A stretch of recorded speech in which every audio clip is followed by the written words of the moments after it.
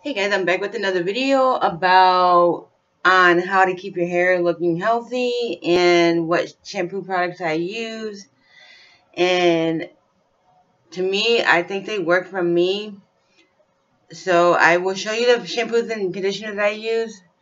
And maybe you can try them and see if you like them or not. But to me, I do. I love the products. And to me, I think it works really, really well for my hair. And if you notice, I got a lot of shine to it.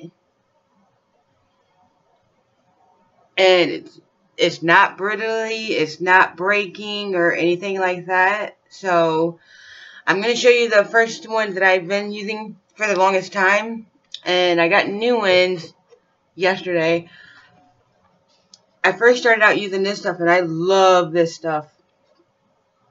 This one here that you see is conditioner. And then this is shampoo. And this one so far is my favorite.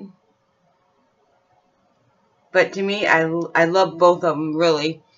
This one is called uh, Honey Treasures.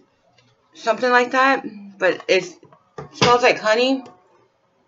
And then um, this one is um, coconut water vanilla milk is what this one is.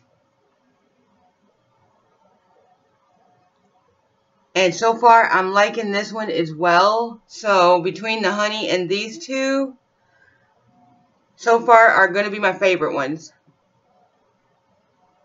But this stuff really, really, really works for my hair.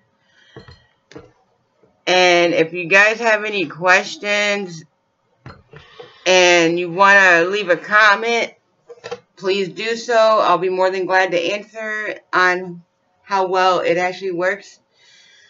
To, and then uh, for the conditioner, I kind of use this twice because the first time I leave it in for like five minutes.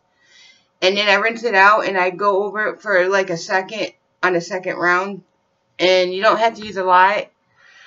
But that's one way to get the better results on if you like it or not. You know, try it the second time for this for um a few seconds.